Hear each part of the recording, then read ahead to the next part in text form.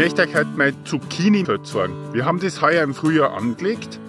Auf dem Material ist nicht wahnsinnig viel Erden drauf. Das ist äh, Schüttmaterial, das ist hauptsächlich Schotter.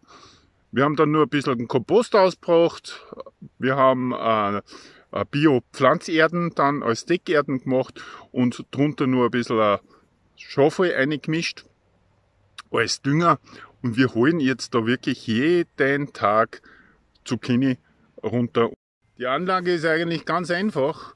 Sie ist im Hang, sehr sonnig gelegen und wir haben das nur mit ein paar alte Käferbäume dann abgrenzt.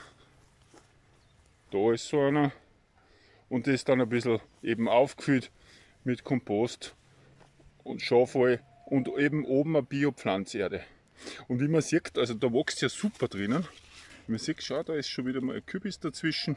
Die Zucchini blühen wunderschön und selbst wenn man mal ärgere Unwetter hat, wie die letzten Tage, sind die ganz schnell wieder auf dem Damm und erholen sich ganz schnell wieder. Ganz wichtig ist natürlich, dass man mit den wärmebedürftigen Zucchini, Gurken und Melonenpflanzen erst im Mai, wirklich erst nach den Frösten rausgeht.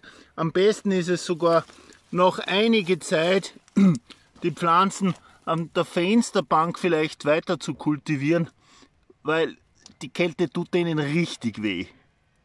Und wie man sieht, haben sich die aber super entwickelt.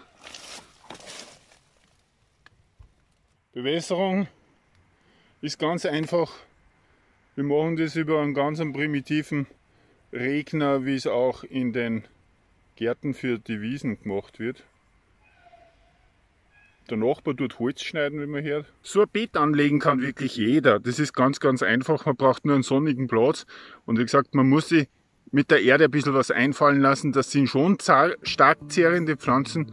Also das heißt ein bisschen äh, biologische Pflanzerde drauf, ein bisschen ein Dünger drauf, Schafwolle oder Hornspäne. Ich bin eher der, der Schafwoll-Fan. Und dann geht es eigentlich von alleine. Viel Wasser braucht man drauf, wenn man in Urlaub fährt, vielleicht jemanden äh, bitten, da ordentlich einmal ein bisschen drauf zu schauen.